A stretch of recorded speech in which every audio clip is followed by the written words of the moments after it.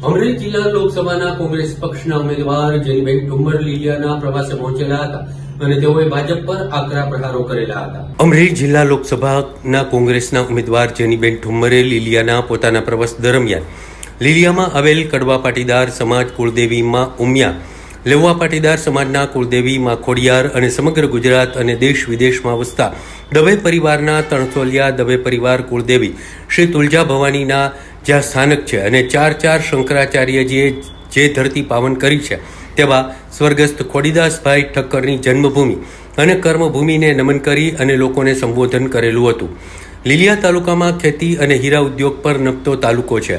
છેલ્લા બે વર્ષથી હીરા ઉદ્યોગમાં વ્યાપક પ્રમાણમાં મંદી છે અને કાચા માલની અછત છે ત્યારે આ વિસ્તારમાં બેકારીની સમસ્યા છે.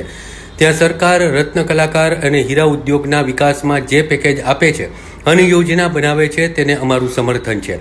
આ ઉપરાંત તેઓએ ખેતીની વાત કરતા જણાવ્યું હતું કે લીલિયા તાલુકામાં માત્ર ચોમાસા આધારિત ખેતી થાય છે. તેમાં ટૂંકી જમીન ધરાવતા લોકોની હાલત વધારે ખરાબ છે.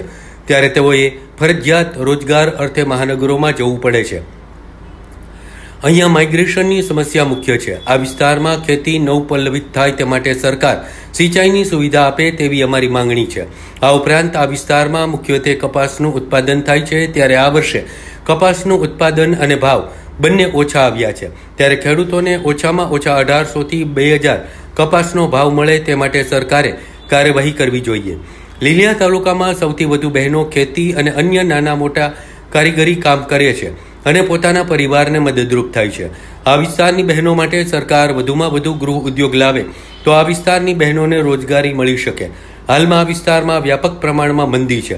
ત્યારે મનરેગા અંતર્ગત રાહત કામ તાત્કાલિક શરૂ કરાવે તેવી લોકોની માંગણી છે. આ બાબતે વહીવટી તંત્ર તાત્કાલિક પગલાં ભરે તે જરૂરી છે.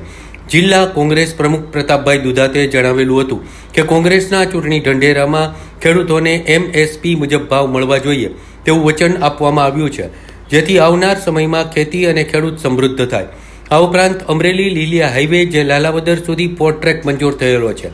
તેને લીલિયા સુધી લંબાવવામાં આવે તો આ વિસ્તારના લોકોને સારામાં સારી વાહન સંબંધી રોજગારી મળી શકે.